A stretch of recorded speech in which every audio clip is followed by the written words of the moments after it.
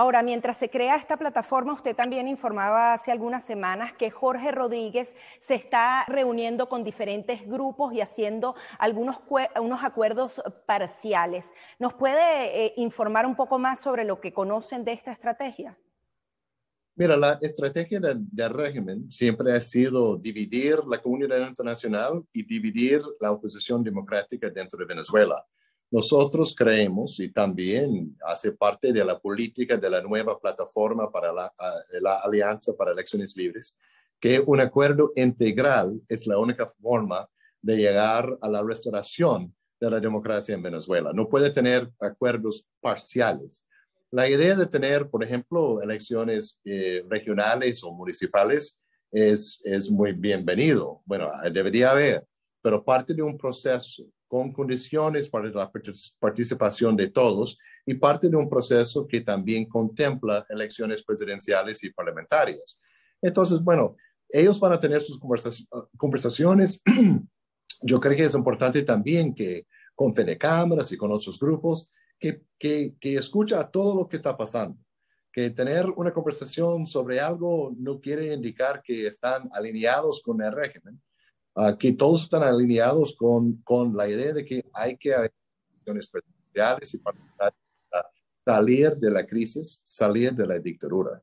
Entonces, este hace parte del de, de plan de régimen, como siempre, y nosotros todos, dentro y fuera de Venezuela, estamos, ahora conocemos lo que está pasando y también tenemos respuesta, que es trabajar en conjunto, ponerle la presión y buscar una salida a través de una negociación o un acuerdo político integral, no parcial. Ahora, usted habló de las regionales. ¿Es posible tener regionales con Maduro en el poder, aun y cuando hayan condiciones electorales? Mira, yo creo que si logran una negociación entre eh, Maduro y la oposición, ah, y no somos ingenuos, sabemos que no es una cosa fácil, y la palabra negociar es una palabra mala Ah, en, Venezuela después de tantas veces que ese régimen ha, utilizado la, negociación para ganar tiempo y dividir la oposición. Pero sí es posible tener una negociación sobre una ruta, un mapa, guía para llegar a una solución integral. Es posible tener elecciones regionales ah, en el corto plazo. Ah, pero este, este es algo que, que necesita mucho trabajo, eh, que hoy día, por ejemplo, no hay condiciones para ir a elecciones regionales. ¿Cuál, ¿Con cuál CNE? ¿Con cuáles partidos políticos? ¿Con cuántos presos políticos? Eh, ¿Con cuántas eh, banderas ah, o, o, partidos políticos robados? Ah, ¿Con tanto censura?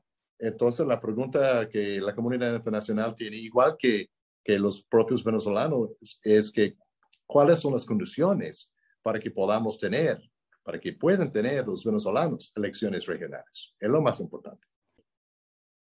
Unidos sería una pieza fundamental en una negociación. Sabemos que ustedes han dicho que no lo harán directamente. Sin embargo, hay una realidad. Usted es el embajador de Estados Unidos ante Venezuela, pero está en Bogotá. Hablando de esos cambios de estrategia, ¿existe la posibilidad de que usted retorne a Venezuela, eh, que retorne a Caracas como embajador? Tenemos información de buenas fuentes que en el Departamento de Estado se ha considerado la posibilidad de reabrir la embajada. ¿Esto podría enmarcarse en esa negociación? Bueno, lo que puedo decir, Gaby, es que todo es posible, ah, que nosotros, para nosotros sería importante estar en Venezuela, por supuesto, Ah, eh, y la política exterior de los Estados Unidos de América no es una política estática. O sea, siempre estamos revisando la política para ver cuál sería la, mejor manera de, de, de, enfrentar una crisis o otra. Ah, y no podemos descartar ah, eh, muchas cosas que estamos hablando en este momento. Todas las opciones están sobre la mesa. Una opción sería también ir a Venezuela. Otra opción sería hacer o apoyar un proceso de negociación. Ah, y, así, así, así. Ah, no puedo entrarme en detalles ah, sobre lo que opinamos en este momento, pero sí puedo decir que tenemos dos objetivos. Un objetivo es aliviar el sufrimiento del pueblo de Venezuela y el otro es trabajar en conjunto con la comunidad internacional para buscar una salida política pacífica constitucional de la crisis en Venezuela. Ahí vamos a trabajar y seguimos apoyando el pueblo de, al pueblo de Venezuela.